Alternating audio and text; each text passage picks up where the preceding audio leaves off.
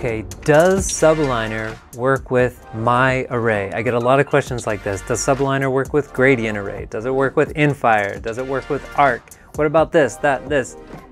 The answer is always yes, because it's so simple. SubAligner works with any source because it is it is sound design, it is sound system design agnostic. As long as you can define those sources by their distance, you can use SubAligner. Now, I didn't make this up. I originally heard about this idea from Merlijn Van Veen, and he calls it the relative absolute method. And we talked about it in a podcast, which I'll link to in the description for this video. But he didn't invent it. Manufacturers have been recommending this for years, and not just some obscure manufacturers that you've never heard of, the most uh, well-known one is probably L-Acoustics. So I've got some manuals open here to show you really quickly. So if you open up the L-Acoustics preset guide and you scroll down to the section called pre-alignment delay values, this is almost exactly, this is really my inspiration for SubAligner. Because we have below here just a bunch of pre-alignment values that then get added to the geometric distance offset, and that's your result.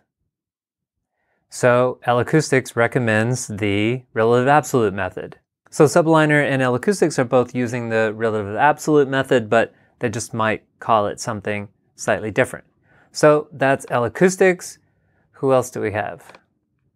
So if you open up the d&b line array design guide here, and then you go to the table of contents, and you go to the section on subwoofers.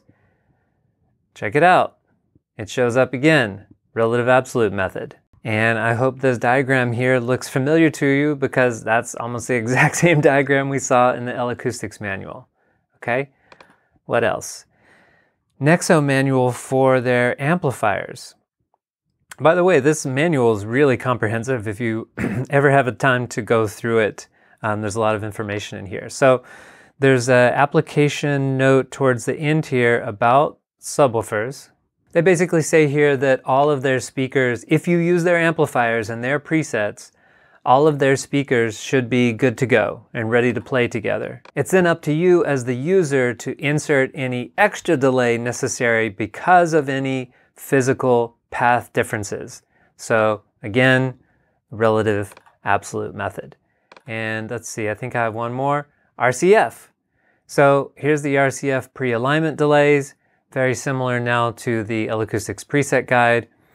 We have this page here explaining how to do the relative absolute method, and then we'll have uh, pages and pages of pre-alignment delay values. It might also be helpful for me to point out that it's really uncommon to have, you know, different presets just because of a different system design. You know, we don't have a preset for the speaker just because it's close to the sub and then one when it's farther away and then one when it's even farther away. No, we just equalize that distance offset with delay or I don't know, some other tool.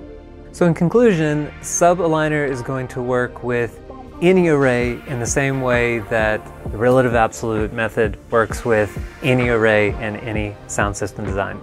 All right, so let me know if you have any questions about that, and thanks for watching.